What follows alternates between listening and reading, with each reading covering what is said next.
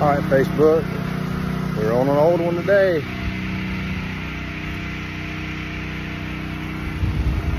This is a job for WV Development. Uh, Brandon gave me a call and wanted me to look at this old house they're wanting to restore. And I was kind of show you what's going on. So it's really old. So what I did, luckily there's no plants here.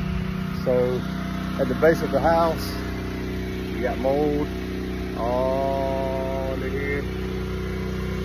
So what I did was I turned it up like almost 6% mix and I started spraying just the base first. I did it all the way around, there's no plants. You can see the result.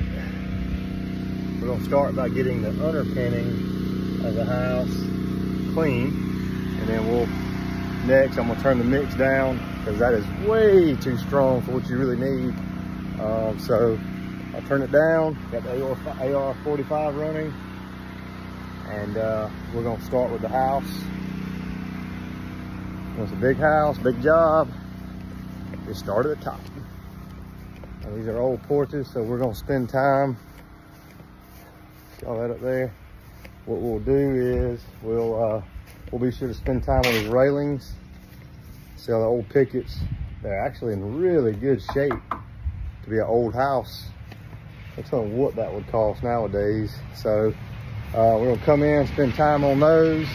And uh, when we get done with this job, uh, WV Development will line up, I'm sure, somebody to come in behind me and do a proper painting. And that's what it needs. That's what their go end goal is, I guess. Um, yeah, so we'll prep it, get it cleaned up. But this is just a quick walk around. This is the sunny side, so it's definitely not as bad. And then a little porch on the back. Yep, old house. You want it done right, call squirting dirt. And we'll end up, we'll just clean this little path, last entrance the house. You can see the steps were growing and stuff, so we did that, killing it off.